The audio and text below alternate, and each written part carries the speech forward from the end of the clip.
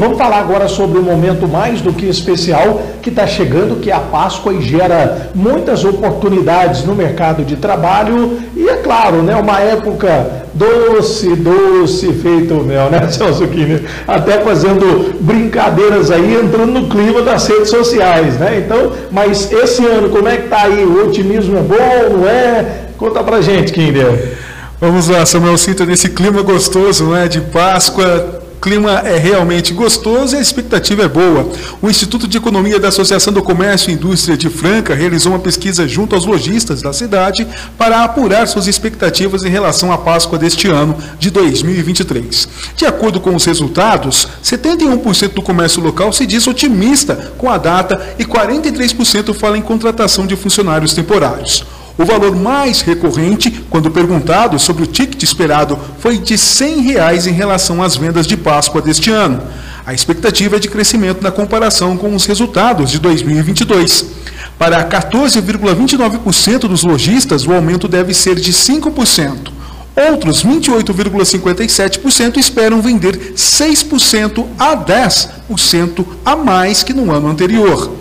Já 14,29% dos consultados se prepara para um crescimento entre 11% e 15%.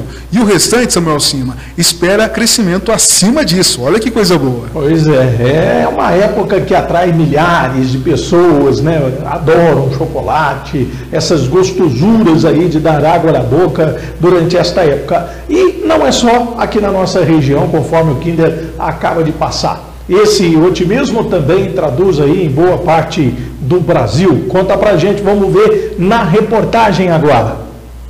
Uma infinidade de opções para tentar atender a todos os pedidos para o coelhinho.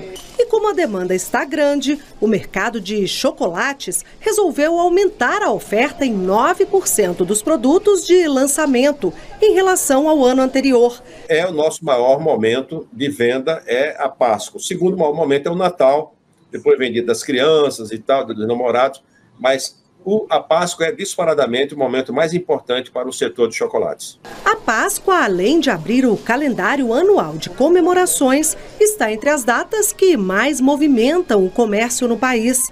O chocolate, claro, é o produto mais procurado, o que significa geração de empregos desde as fazendas de cacau até as lojas. Para este ano, a previsão é de pelo menos 7.900 vagas de trabalho temporário. A gente já contratou é, no início, no final do mês de fevereiro, a gente já começou com um funcionário a mais. Mas essas gostosuras não ficam só por aqui em solo brasileiro. O chocolate produzido no país tem ganhado cada vez mais espaço no mercado internacional.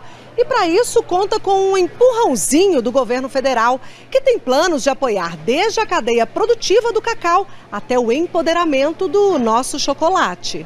A Apex Brasil tem um programa, o PAYEX, para pequenas empresas que queiram conhecer, aprender e se credenciar para ser exportadoras. Nós vamos estar tentando valorizar é, essa cadeia produtiva do, do cacau, mas o melhor jeito de fazer isso é empoderando o chocolate.